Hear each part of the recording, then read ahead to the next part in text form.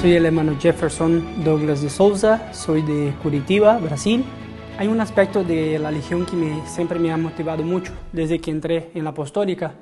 Primero, eh, siempre me entusiasmó el hecho de hacer cosas grandes, ¿no? Me acuerdo cuando nos contaban, cuando nos, nos motivaban a hacer grandes cosas en la vida por Dios, ¿no? Y eso es para transmitir a Dios, para ayudar a la, evangelización, ¿no? Ese entusiasmo por querer transformar la sociedad.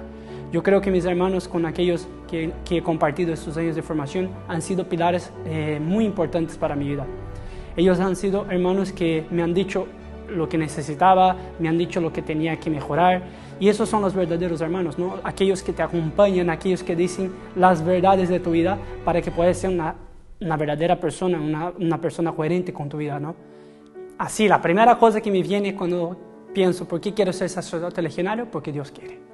Porque Dios, durante todos esos años, estos 18, 19 años de formación, me ha demostrado que aquí es mi lugar.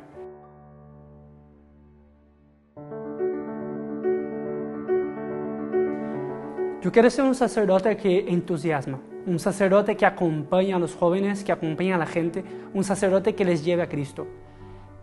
En los años de apostolado en los años de prácticas apostólicas me ha motivado mucho eso, acompañar, entusiasmar, ayudarles a que encuentren la verdad que es Dios, ¿no?